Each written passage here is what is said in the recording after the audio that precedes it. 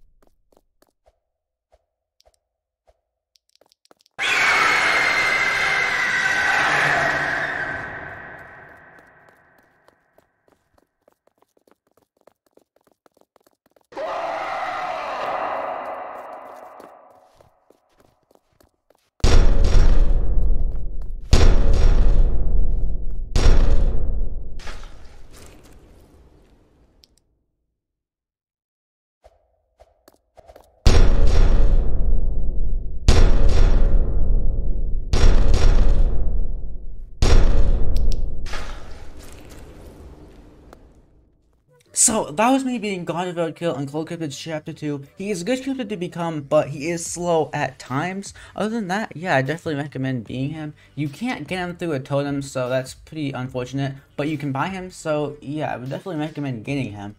Other than that, uh, yeah, that should be about it. I'll be Wendigo tomorrow. That's going to be the last cryptid I'll be doing before moving on to other games. That should be about it for this video.